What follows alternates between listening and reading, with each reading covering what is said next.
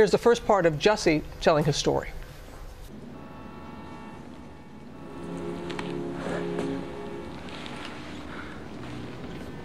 Do you know who I am? I do.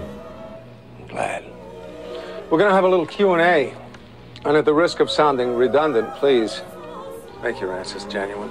When I landed in Chicago, and Frank Gatson, who's like my uncle, and he's also my creative director, and he picked me up.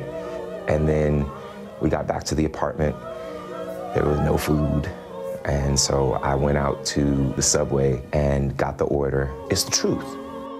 Subway is open 24 hours for a reason. So that when you're hungry at night and you ain't got no food, you go to Subway. As I was crossing the intersection, I heard Empire. And I didn't answer. I kept walking, and then I heard Empire. And I said, Did you just say to me? And I see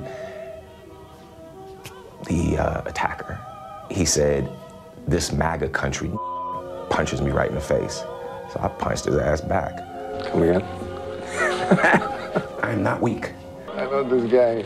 And they ran off. They ran off. I didn't. then I look down and I see that there's a rope around my neck. No!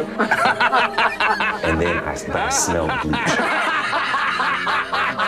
Do you not believe that? It's the truth.